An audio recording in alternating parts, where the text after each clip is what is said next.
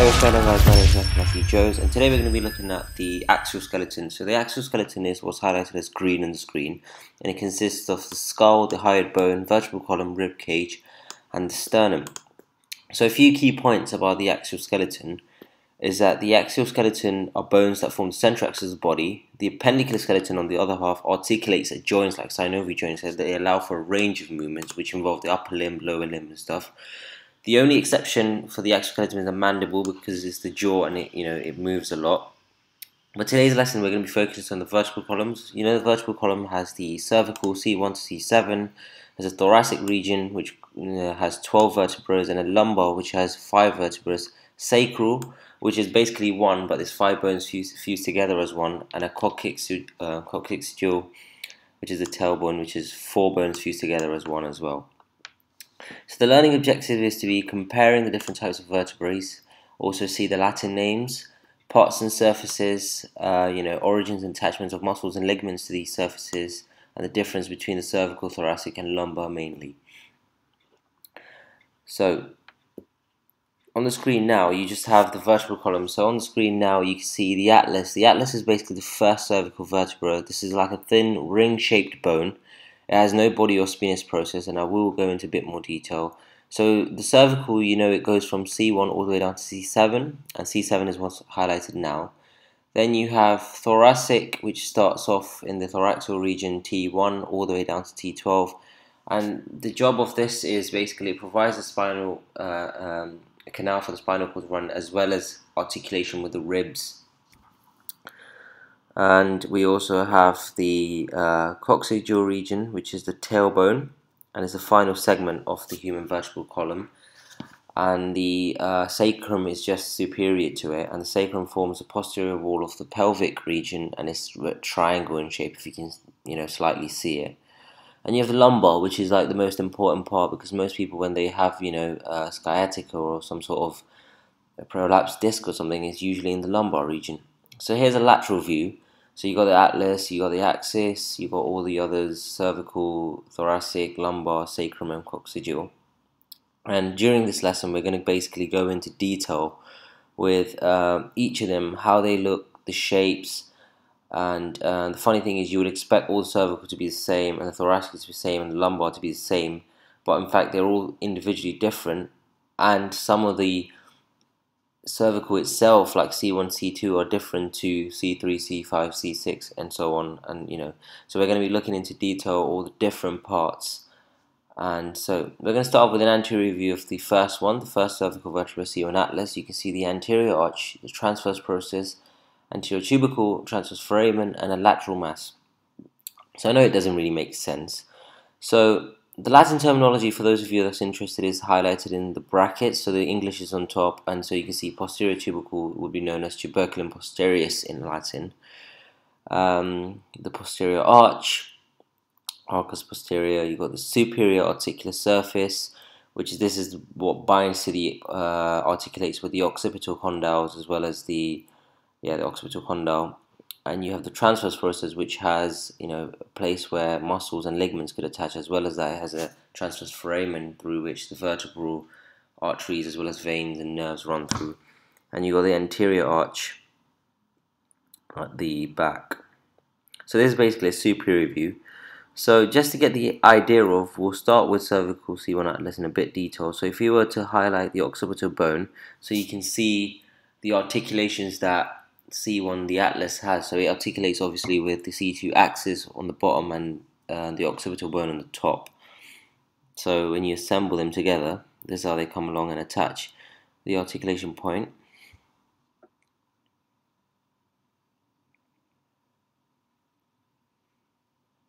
So you can see the fovea dentis of the C2 axis attaching to the um, dense faces of the C1 atlas. So now we're going to go in really detail with the uh, cervical vertebrae. So it's basically a ring shape and it has no body. Uh, so the key features are it has no body, no spinous process, articulates with occipital and C2 axis. The vertebral foramen is circular in shape, circular, remember that. And its transverse foramen allows passage of veins and arteries. And funny thing is, this is the only transverse foramen which is actually put to use in um, compared to all the others. So there's a picture of you know just showing the arteries and veins and the nerve going through the foramen. So now we've got parts and surfaces. So let's start with parts. We have an anterior arch. The anterior arch joins with the posterior arch, you know, to make a circle. And, and the posterior side of it, you have the dens axis. You also have the posterior arch. You have a posterior tubercle to which uh, the rectus capitis minor, which is a back muscle, attaches to. You have the muscles of the neck involved in the rotation of the head, so as shown here, attached to the transverse process. You also have a superior articular surface to which the uh, uh, occipital condyle is attached, and the fovea dentis, which is found on the posterior side of the uh, anterior tubercle, or the anterior arch, should I say. And the transverse foramen is the apertures found on the side. Only C1 transforamen lays passage for veins and arteries. You got the transverse foramen, which is large and triangular in shape. So that's one thing you want to note down. Now the different surfaces are you have the anterior tubercle to which the longus uh, colli muscle as well as the ligaments attach and it's found on the anterior posterior uh, anterior side and this is the groove uh, or sulcus arteria or sulcus nervi uh, groove through which you know when the arteries and veins come out through the foramen they go on top of this and they pass on into the um, foramen magnum so now let's start off with the C2 axis, parts and surfaces. So you've got the, it has a body, unlike the C1, and it also has a, it's the strongest cervical vertebrae. It allows for pivotal movement of the neck, allows for attachments of muscles and ligaments on the transverse process, and it has a bifid spinous process. So it does have a spinous process, but it's bifid, so there's two ends, like it's like a cross. So again, we're going to go in with the parts of the C2 axis. So you've got the dens part, which is the most important because this articulates with the atlas, the C1 above. Okay, and you have the uh, inferior articular process. So this is where the um, contains the facet for the inferior side. The lamina is where the ligamentum flava attaches. So here's just a small articulation of ligamentum flava. and you have the different uh, sections. So the pedicle is over here. The pedicle is one of the two short stalks.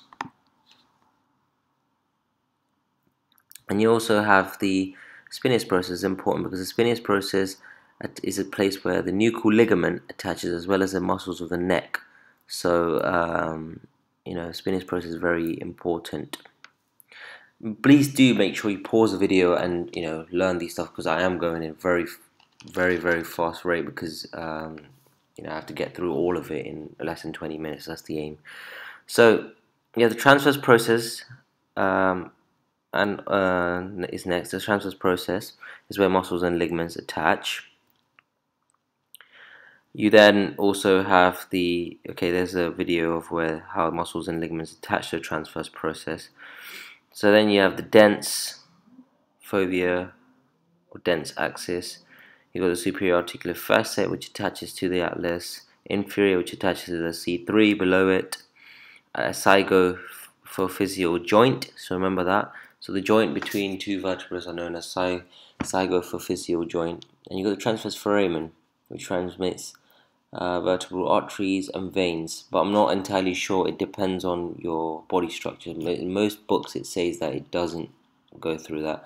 And you have the vertebral foramen as well, which is an aperture formed by the union of the vertebral body and the vertebral arch, and this is the area through which the spinal cord runs through. So this is pretty much the main bit.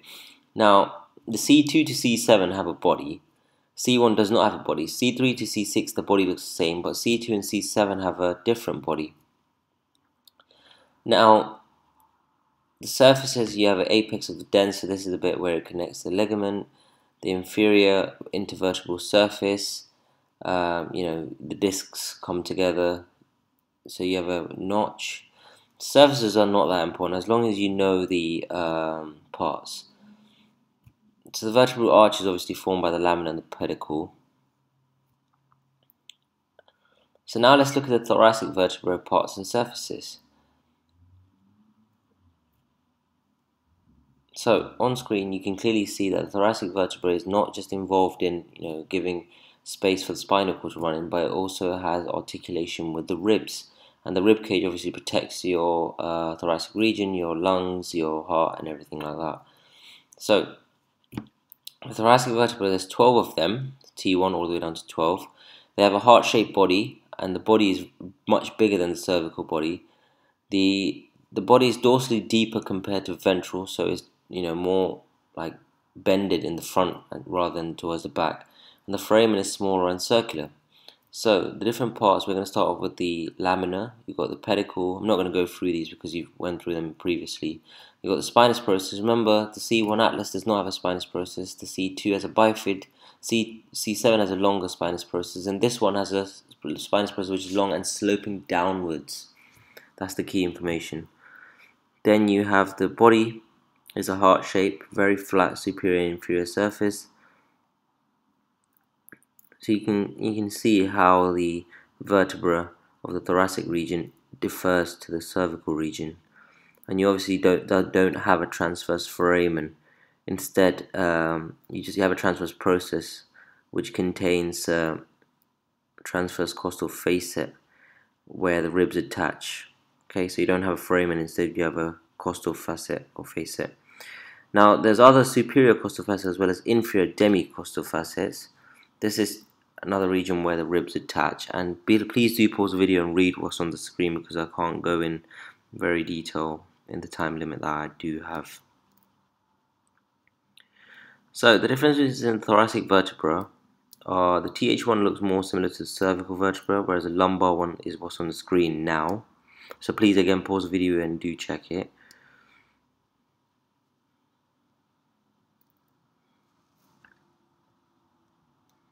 So you got the inferior articular facet, you got the vertebral foramen, which is smaller and circular, but not triangle this time. So that's one other key information you want to take on board. So next, we're going to be looking at the lumbar region. So there's five of them. They're kidney-shaped bodies, thin transverse process, so they don't have any no foramen.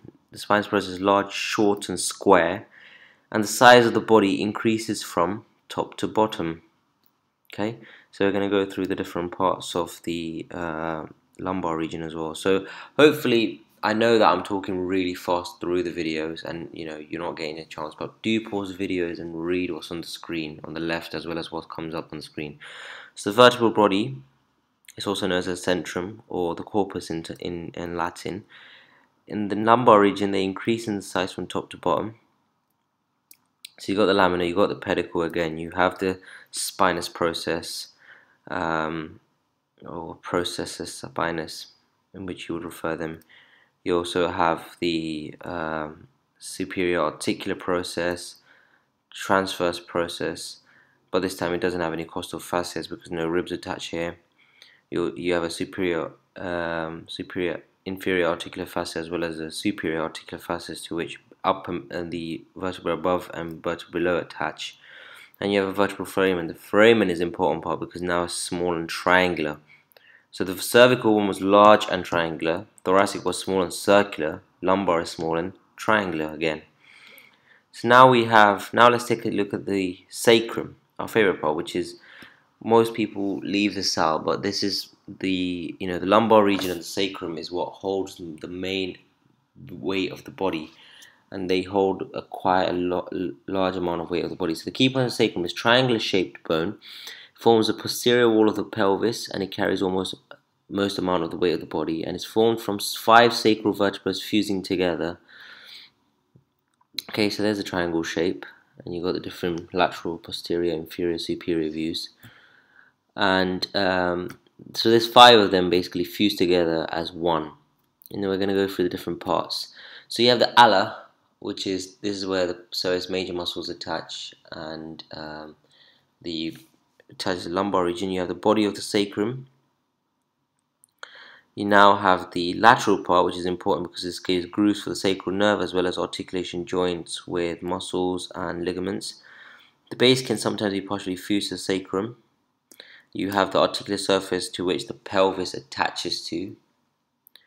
You also have the superior part to which the lumbar region attaches to, the fifth lumbar vertebra attaches to here.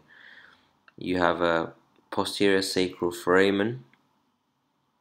You have a sacral canal through which the uh, nerves and sacral nerves run through, and you have a sacral hiatus, is the bottom part. And now you have the different surfaces. You have a dorsal surface which contains the median sacral crest as well as the med medial sacral crest and the lateral. Okay, so the key points is this gives attachments to sacrotuberous and sacrospinous ligaments. So again, do pause the video and you know read what's on the screen because I, it's way too, and I've written all the information in as much detail as I can and you can also read on the left where my mouse is pointing to as well. So don't expect me to like speak across the whole thing really fast because the video is really fast and I've tried it put it get everything in with as much detail as possible. So we have the final part the final segment of the human vertebral column known as the coccyx. And the only the first coccyx has a transverse process and none of them have lamina or a spine or a pedicle or anything like that Okay, so they're basically the tailbone, and they're also, you know, um, a place. So you've got the coccygeal, uh, coccygeal vertebra one, two, three, four, and they're basically, you know, sites of attachments for like muscles like the anal sphincter muscle, the externus anal sphincter muscles, as well as the gluteus maximus muscles. You know, those are the muscles that form the butt region of a human. And yeah, so once again, I'd just like to apologize because I couldn't keep up with the video and I've tried to squeeze everything into under 20 minutes. And please do pause the video and, you know, read the stuff on the screen and make sure you understand it. For those of you that need a, for those of you that need the uh, Latin version, I've got it on the screen um, in brackets as well, so do read up on that. Make sure you go visit www.royalchristcollege.co.uk on our website. You can find various different uh, videos as well as uh, sections where you can join up to. So if you go down to medicine, you have all the different sections. You have like the cardiovascular, respiratory. So if you click into one of them, you need to sign up, and then you've got the anatomy, physiology, biochemistry, pathology. You also have dentistry, nursing so you know make sure you check it out. Uh, also subscribe to our youtube channel. If you like the video please do um, subscribe to our channel leave a like thumbs up and see you next time. Thank you for watching